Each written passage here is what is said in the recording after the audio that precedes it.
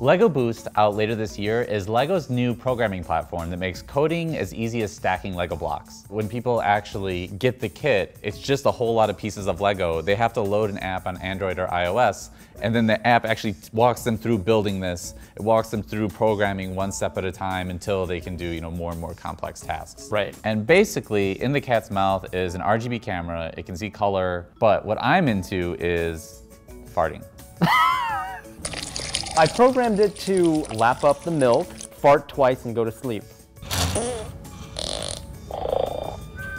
You know, there's a lot of these toys out there that talk about we're going to teach your kid to code. There's so many right? coding toys. Yeah. But in some sense, like they're kind of extensions of the original Lego instruction manual, right? Because this version of coding is really no different than like following a set of instructions and then maybe you can rework the blocks a little bit, which is, is good for Lego insofar as like they're kind of making their brand and what Lego means work in a different context. Totally. Personally, I'm really excited for this because I feel like Lego is bringing user friendliness to coding that, that it's already done with like building. Right. Right? Like the, the fact that you can learn this interface in like literally seconds and be programming something in literally seconds. Right.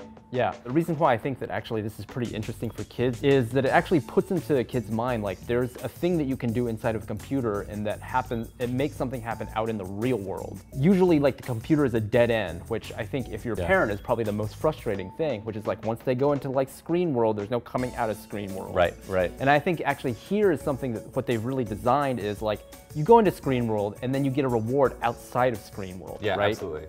So Lego Boost will be $160 when it hits later this year, and a little bit expensive, but Yeah. I think a decent toy. Yeah, and maybe that money will pay for itself if your kid takes up coding and goes to work at Google. And if not, Still have a cat that farts.